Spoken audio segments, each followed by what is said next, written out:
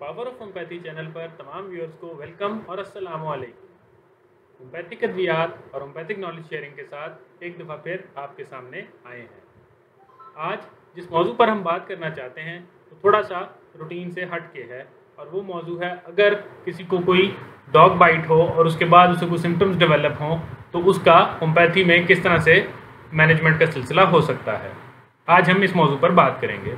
बुनियादी तौर पर अगर देखें तो अगर डॉग बाइट हो और अगर कुत्ता कोई काट ले जो कि इन्फेक्टेड हो, जिसकी राल के साथ वायरस कोई जरासीम मुंतकिल हो तो अमूमन एक कंडीशन रेबीज़ होती है जो कि मुंतकिल होती है मरीज़ में और उसके बाद वो बीमारी जो ज़ाहिर होती है, उसमें बुखार सर दर्द मतली, उल्टी झगड़ालू तबीयत दिमागी कन्फ्यूज़न इसके अलावा निगलते हुए तकलीफ़ और जो ख़ास तौर पर इस रेबीज़ से ख़तरनाक चीज़ होती है, वो ये होती है कि लिक्विड पीने और पानी पीने के जो है वो इंसान डरता है उससे। हाइड्रोफोबिया की जो कंडीशन बनती है, वो एक खौफनाक कंडीशन होती है और उमूमन इस कंडीशन के साथ नॉर्मली फिर पेशेंट जो है वो डेथ तक भी जा सकता है, अगर क्योर की तरफ़ कोई दवाई या कोई मैनेजमेंट ना की जाए या रेबीज़ के साथ जो वैक्सीन रिलेटेड है वो अगर ना दी जाए तो फिर ये सिम्टम्स जो हैं इस हद तक ख़तरनाक सूरत हाल इख्तियार करते हैं कि मरीज़ की डेथ भी हो सकती है।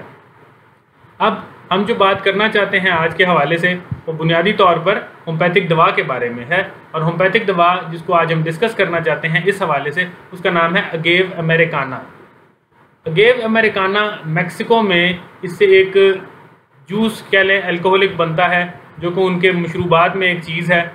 लेकिन इसको अगर हम इस अंदाज से देखें कि इसकी होम्पैथिक प्रूविंग की गई हो तो वो वाज तौर पर बुक्स में अवेलेबल तो नहीं है, लेकिन इसके साथ क्योर के केसेस की तादाद वो बुक्स में काफ़ी तादाद मौजूद है।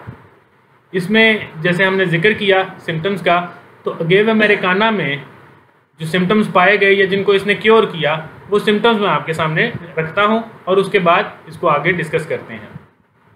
अगेव अमेरिकाना जो है, एक बच्चे को कुत्ता काटने के बाद दी गई और ये मैक्सिको में ही बच्चा था और इस बच्चे ने उस पौधे को जब देखा तो उसे खिलाया गया और खाने के बाद वो वैसे पानी नहीं पी सकता था, लेकिन इस झाड़ी को या इस पौधे को जब उसने चबाया तो इसका जूस वो निकलता रहा। जो सिम्टम्स उसमें पाए गए थे वो क्या था कि वो बहुत ज़्यादा एक्साइटेड था खौफजदा भी था साथ। इसके अलावा उसे निकलने में मुश्किल थी और उसकी पल्स जो थी वो बहुत कमज़ोर थी, बहुत ज़्यादा घबराहट थी उसे, झगड़ालू था और पानी पीने को और निकलने को उसे बहुत ज़्यादा प्रॉब्लम हो रही थी। इवन वो काटने तक भी अपने नर्सिंग स्टाफ को और डॉक्टर को जा रहा था।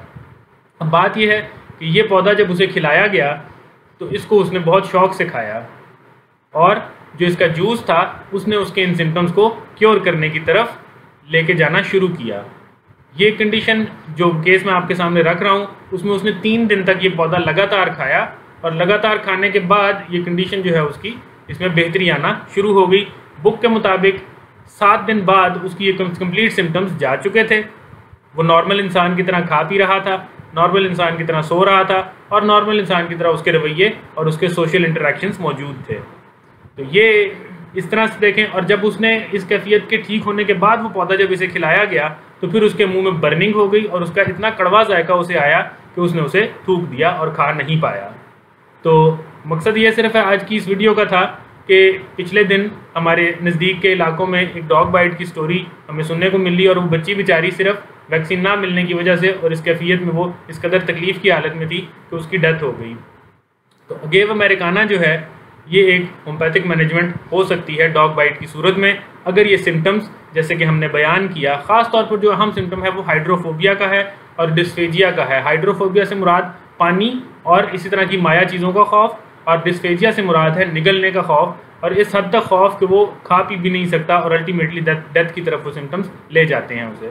तो गेव अमेरिकाना जो है, ये होम्पैथिक मैनेजमेंट हो सकती है डॉग बाइट की सूरत में, और ये आज की हमारी शेयरिंग थी। हमने इसको इस अंदाज से बयान करना चाहा कि ये आसान सहल ज़बान में हो, आपको समझ आ सके। हमारे चैनल को लाइक और सब्सक्राइब कीजिए, हर दफ़ा का मैसेज होता है हमारा। हमारी हौसला अफजाई के लिए बहुत ज़रूरी है। इन अगली फिर किसी डिस्कशन के साथ दोबारा हाजिर होंगे। तब तक के लिए असलकम अल्लाह हाफिज़।